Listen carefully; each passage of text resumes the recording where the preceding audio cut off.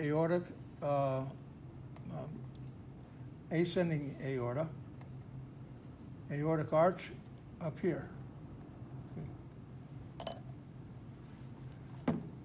Start on this side, superior vena cava, coming back, inferior vena cava, coming back to the right atrium. This is much better. Here's the auricle for the right side.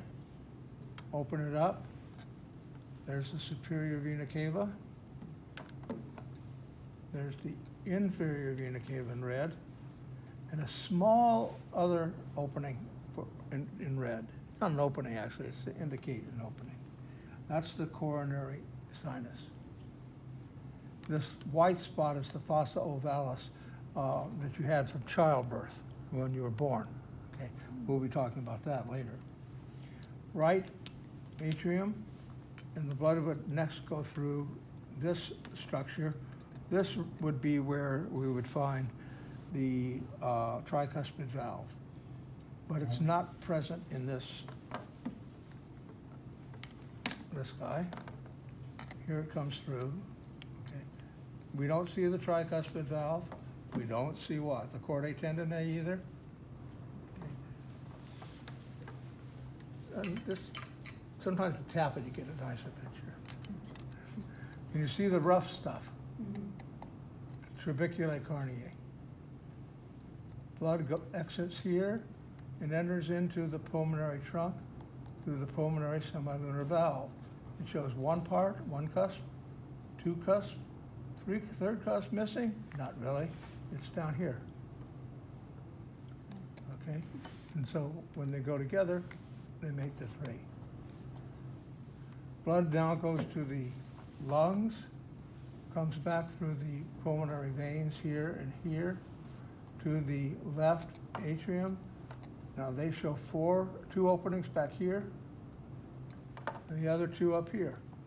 You notice how the other model had them all together mm-hmm. in a straight line? I guess that's artistic license, you know. Here's where the next valve would be. This would be the mitral valve, and it's not present on this model, and nor are the chordae tendineae on this model. Okay. There, however, is the, because everything else is out of the way, the aortic semilunar valve. Okay. And the blood enters uh, through there into the ascending aorta. Now, on the aorta, goes up, arches over, and goes behind the heart, headed downward to the lower part of the body. These three vessels that come off, you'll need to know the three. Uh, you'll get a sheet soon. It's on the internet. You can always jump ahead uh, that have the list of vessels. This is the brachiocephalic, always the first one. Next one is common carotid, or carotid is good enough. And the next one is the subclavian.